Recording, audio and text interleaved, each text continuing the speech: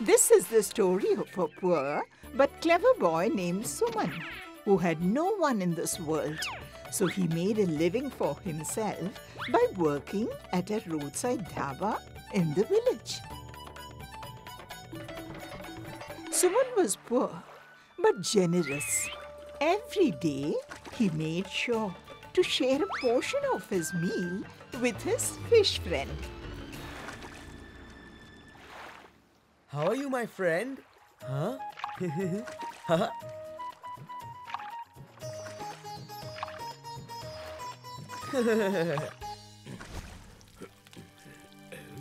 Suman? While working diligently at the dhaba, a cunning thief named Chantu notices him and asks Suman to come with him. Um, what do I have to do? You just have to relax for 40 days, eat and drink, and then work a little on the 41st day. In return for which, I will give Huh? you 10 gold coins. Ah. Oh. One before the work and the other after its completion. Tell me, did you like my offer? Suman gets excited after hearing a great offer. He immediately leaves his work at the dhaba and sets off with Chantu.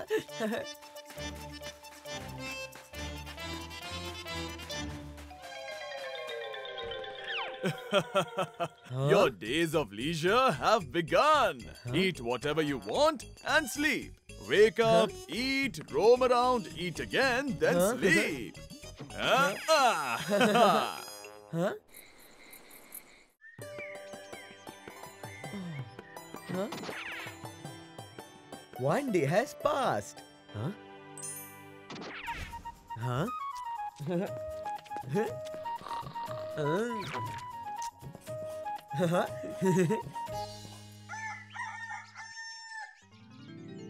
Hmm? Huh? Ugh.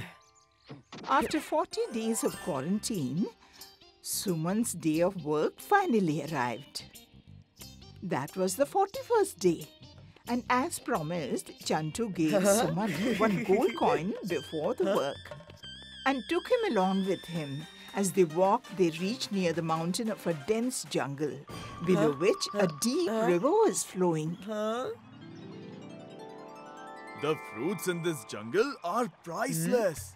I want to take many fruits from here, but I don't know how many can fit in this bag. Can you sit inside this bag so that I can get an idea of how much weight Uh, it can carry? Sure, why not? Hmm. Huh? Uh, uh. Hmm. uh, uh, what are you doing? Get me out of here! Huh? Uh, uh, uh. It's just a matter of two minutes. Anyway, I have fed you and taken care of you for so many days. Now you can't refuse.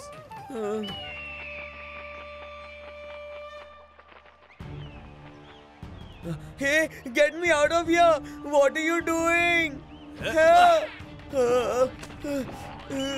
Help! Is anyone there? Save me! Ah, very good. Ah, Save me! Uh, uh, uh.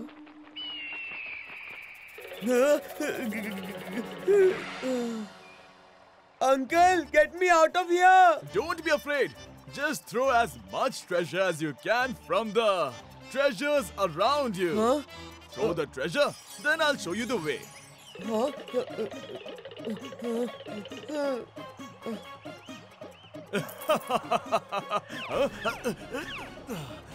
now tell me, uncle. Foolish child, can't you see the skeletons and the empty bags lying around you? Many others before you have also become the food of that vulture. And now it's your turn. No, wh- wh- why are you doing this, uncle?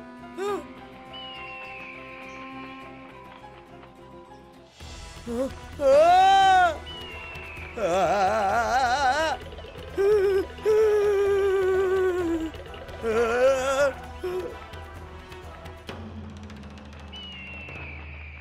If I jump into the river, at least there's some hope of survival. Here, these vultures will surely tear me apart and eat me alive. Ah! Ah! This was the same river that flowed through his village. Save me! And do you remember the fish from the beginning of the story? Whom Suman used to feed? If the river is the same, then the home of that fish must also be this river, right? Finally, she reached on time to save her friend.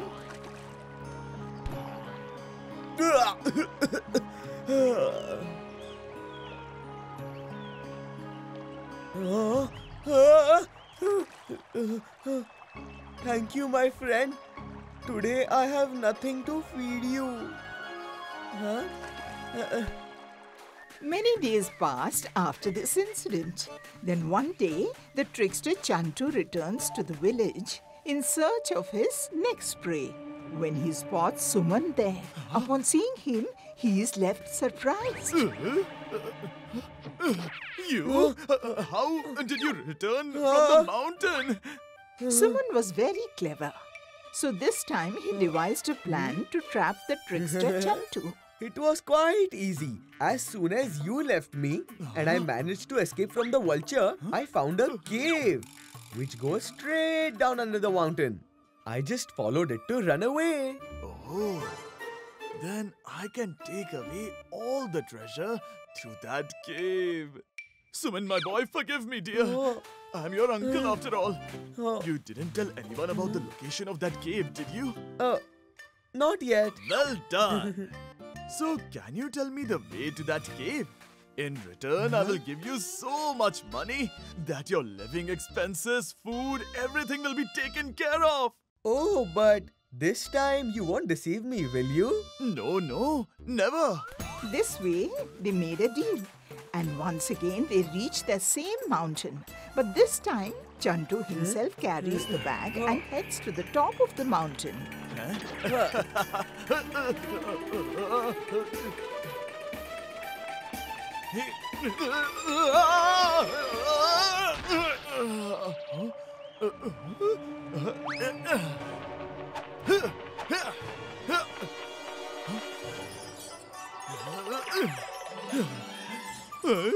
Wow, so much gold! Yay! The treasure!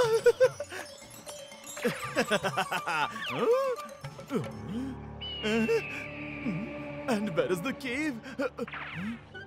What's the way to the cave? I can't see any cave here! Where is the cave? What cave? Which cave? Two twos are four! Have you lost your memory? Oh dear uncle, you turned out to be quite naive.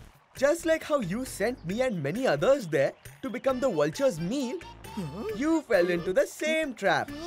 There's no cave up there. What? You fooled me! I'm trapped here due to my greed!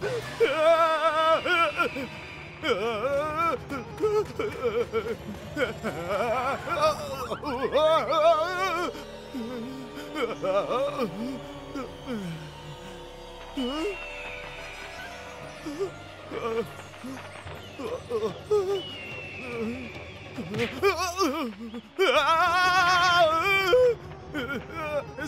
me! To save Suman ah! from drowning in the river, he had his fish friend. But there was no one here to save Chantu, as he had spent his life deceiving people. So, there was no one to save him in the end. There was a boy named Veervara. He used to work on a sea ship.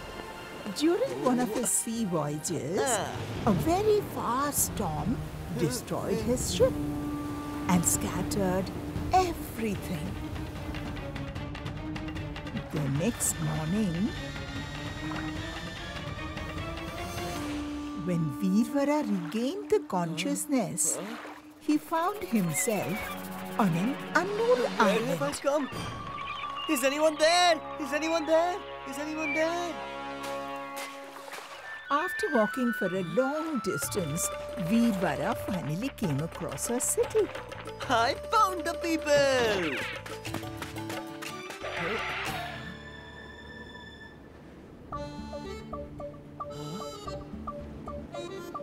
Where have all the people of this place gone? I can't see anyone. Huh? Hail the king! Hail the king!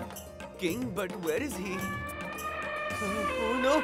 Stop! Uh, uh, What's happening here? And where are you taking me? Despite the beauty of this island, the rules here are equally peculiar. According to these rules, whoever arrives, whether by accident or by traveling, he is declared the new king, while the former king is sent to a deserted island for the rest of his life. It's strange that whoever serves as the king has to spend their life in isolation. This is very weird. By the way, who is the king here at present? Me. Veervara understood why the man was so sad. Because it was now the turn of that elderly person to leave the palace and go to the deserted island according to the island's rules. Following the island's rules, Veervara became King Veervara from that moment. People loved him a lot because of his wisdom and kind nature.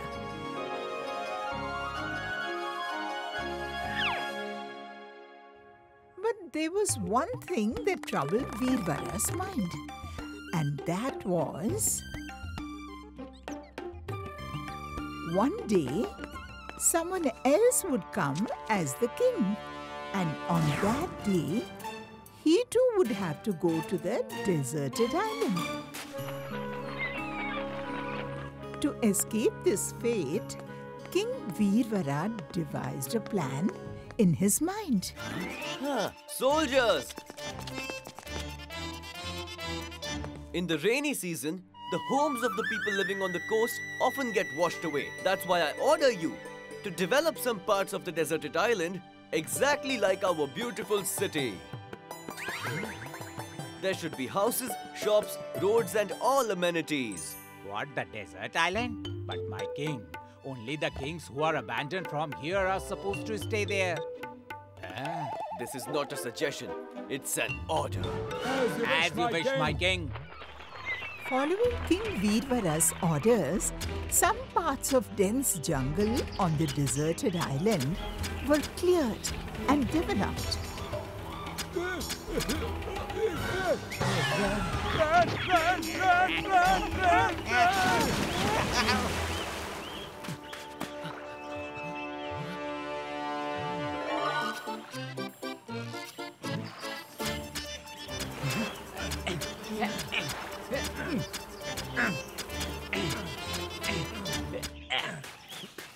Now, the deserted island was no longer deserted.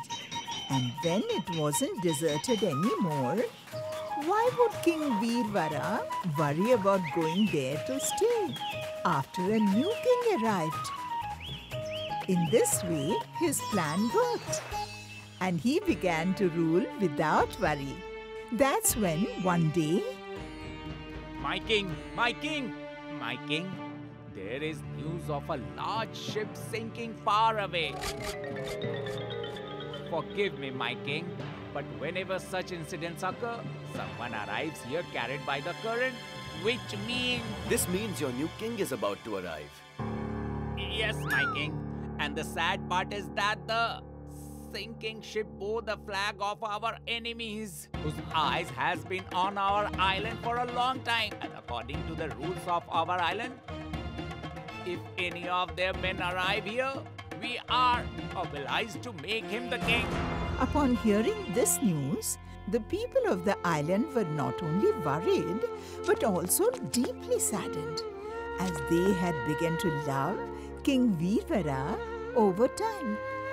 Moreover, King Veervara had also developed love and affection for them, so he made a plan to ensure that no outsider could come and harm them.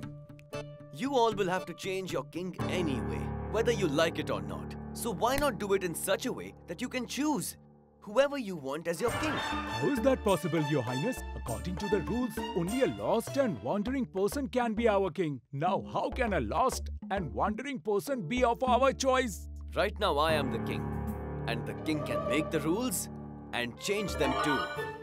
Not every stranger is good, and it's not wise to hand over our kingdom to a stranger or an enemy. Yes, the king is right. He's right. But what can we do in this, my king? The decision is mine, not yours. Considering the welfare of the people here, I propose this rule that you can choose a king from amongst yourselves. But selecting a king from amongst ourselves poses the risk of bias. That's why we choose an outsider as our king. I also have a solution for this. If that king doesn't live up to your expectations or shows any discrimination, then some key members of the kingdom will have the right to immediately remove the king. Wow, oh my What king, what an idea. idea! Your suggestion is very good. We all agree with your proposal. Well, my king, if that's the case, then why don't you become our king forever? No, my friend, my time to leave this place has come. Now it's your turn to choose your king. If you like this video, subscribe to our channel Murty Media.